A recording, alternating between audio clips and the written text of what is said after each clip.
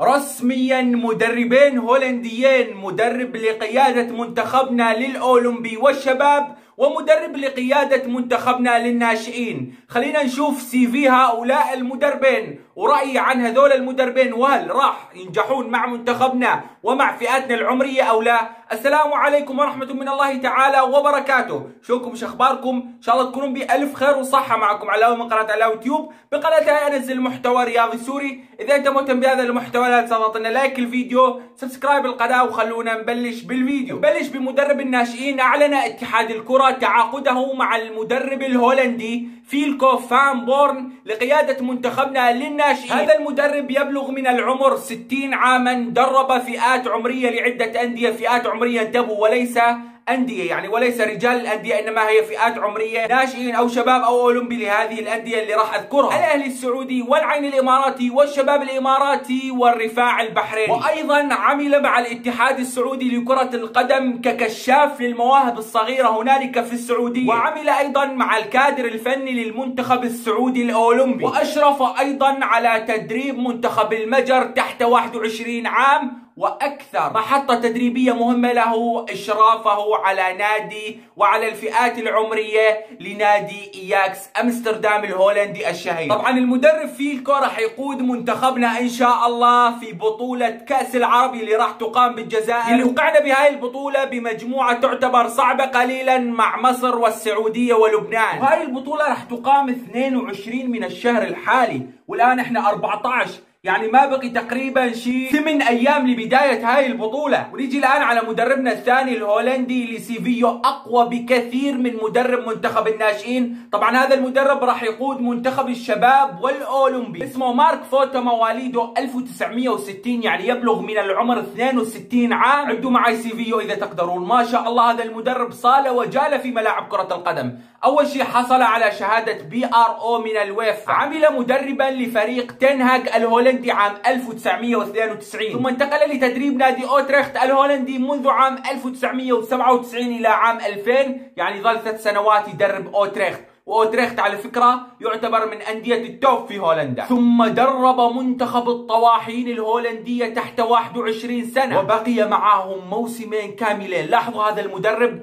يظل مع الفرق اللي يلعب معها مواسم كثيرة. معناته هذا المدرب يقتنعون فيه كل الإدارات الفنية اللي تتعاقد معاه. معناته هذا المدرب مدرب ممتاز وجيد. ثم انتقل لتدريب نادي فيلم الهولندي من عام 2002 إلى عام 2004 أيضا بقي موسمين كاملين مع النادي الهولندي فيلم. مختلف ثم عمل كمدير كرة ومشرف على نادي فينورد الهولندي من عام 2004 إلى عام 2006 أيضا بقي موسمين معهم. ثم درب الأهلي القطري موسم كامل من عام 2007 إلى عام 2008 ودرب الإسماعيلي المصري موسم كامل أيضا من عام 2010 إلى عام 2011 اسمع لي اسمع لي الآن الصاعقه ثم درب نادي ساوثهامبتون الإنجليزي.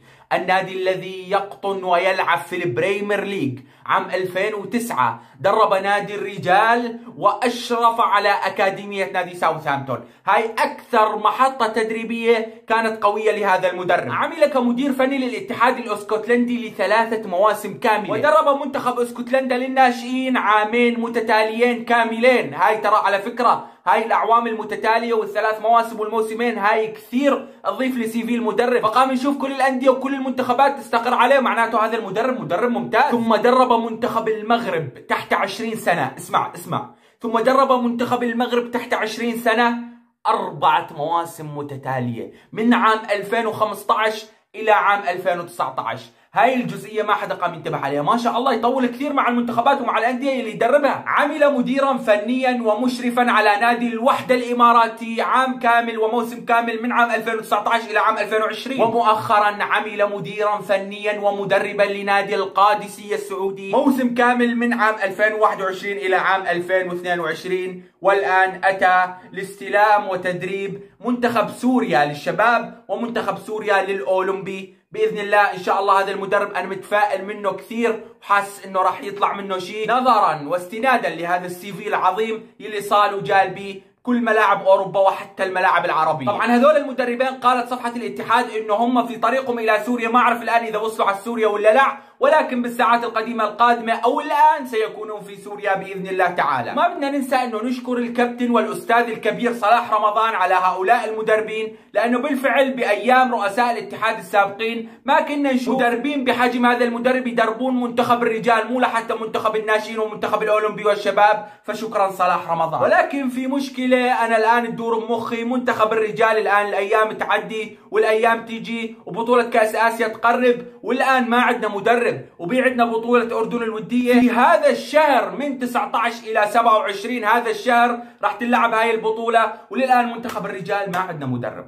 فأتمنى يلتقى له حل هاي السالفة. وحتى إذا تم تعيين مدرب محلي أتمنى ما نظل مسكين به ونحاول نجيب مدربين ذو سيفيات قوية مثل المدرب اللي تعاقدتم معاه تبع الأولمبي والشباب. وهذا اقتراح من عندي أتوقع يفيد منتخبنا. إذا لم تستطيعوا جلب مدرب لمنتخب الشباب. واقترب موعد كأس آسيا. فاجعلوا المدرب مارك فوتا يدرب منتخبنا للرجال. لأن بطولة كأس آسيا اقتربت وكل المنتخبات تجهز إلا نحن ما عندنا حتى مدرب. فأكيد بطولة كأس آسيا وفئة الرجال أهم من كل الفئات العمرية. فإذا انزنقتم عندكم أحلى مدرب وأحلى CV واصحكم تفرطون بهذا المدرب لأنه فعلا CV ه يحترم ويقدر. اكتب لي رأيك أنت بالتعليقات. هذا كان فيديو اليوم. أتمنى تكونوا انبسطتوا. أشوفكم عن قريب. السلام عليكم ورحمة من الله تعالى وبركاته.